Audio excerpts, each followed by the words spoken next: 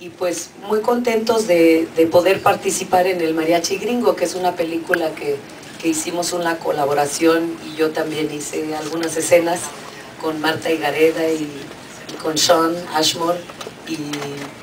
muy contenta porque el, el, el, mensaje de la película me parece muy positivo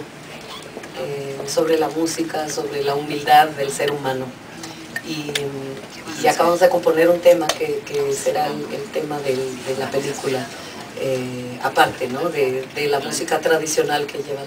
en, una gira por Estados Unidos. Vamos a diferentes ciudades de Estados Unidos por un mes y también a una obra, eh, a un tributo que se le hace a mi padre, que era cineasta y pintor en Minnesota y que hace ya un tiempo venimos preparando eh, eh, recopilando toda su obra, eh, una curadora algunos secretillos ahí de, de, mi vida, ¿no? Yo creo que cada disco ha sido así, muy personal, cada canción representa algo muy, muy personal para mí y, y espero que, que el siguiente también así lo sea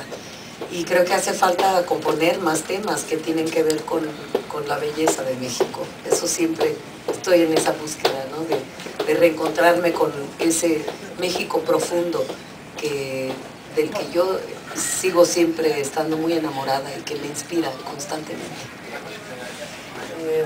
me gusta mucho utilizar el textil eh, indígena, muchas veces eh, son textiles como este que fue tejido en un telar de cintura, este es de la costa chica, y,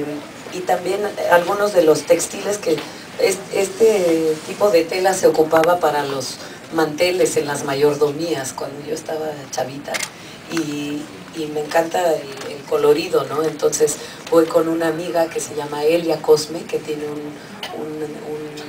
negocio eh, llamado Diseño, Mané Diseños y le llevo a veces estos textiles y ella me hace un corset o un top o, o un vestido, dependiendo de, de la necesidad del momento. Así que últimamente he trabajado bastante con ella y de vez en vez pues también me pongo a coser ahí todavía a unir mis cosas con broches y, así rapidísimo.